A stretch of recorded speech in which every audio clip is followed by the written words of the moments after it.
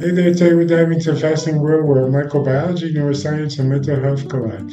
Talk about a multidisciplinary adventure. Imagine your gut microbiota as tiny, bustling communities that do way more than just digest food. They're increasingly linked to your mood, emotions, and even behavior.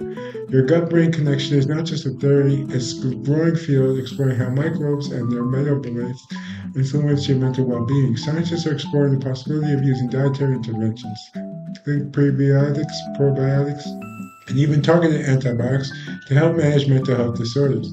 These strategies aim to modulate your gut microbiome, which produces hormones, neurotransmitters, and immune cytokines that can impact your mood and cognition. The enteric nervous system, often called your second brain, works alongside hormones and neurotransmitters to regulate digestion, emotion, and behavior. Micronutrients include methyl donors support these processes, helping maintain cellular membrane integrity, nucleotide synthesis, and even pathways like transmethylation. All these molecular leaks influence your neurobiology, impacting everything from neurotransmitter synthesis to stress responses. Sometimes the brain gets a little too excited, enter the kindling hypothesis, which explains how repeated stressors or seizures can lead to heightened neurosensitivity, kind of like a snowball effect. This concept is linked to phenomena like electrophysiological kindling, behavioral sensitization, and neuroplastic changes that can result in episodic or progressive neurobiological alterations. Think of it as the brain's way of learning to overreact, which can contribute to conditions like epilepsy, mood disorders, or psych- psychosis.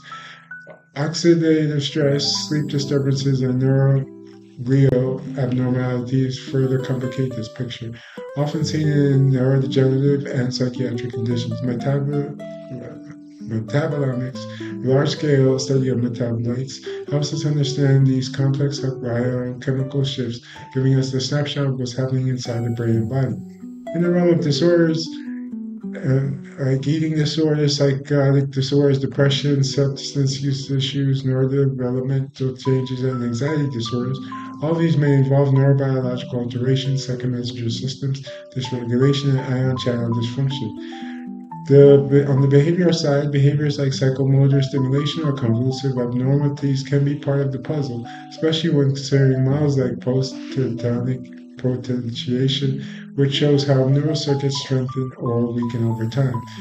As research continues to unravel this intricate web, the hope is that understanding these interconnected systems will open doors to new personalized therapies, maybe even microbiota based ones that can help us better manage and prevent mental health conditions.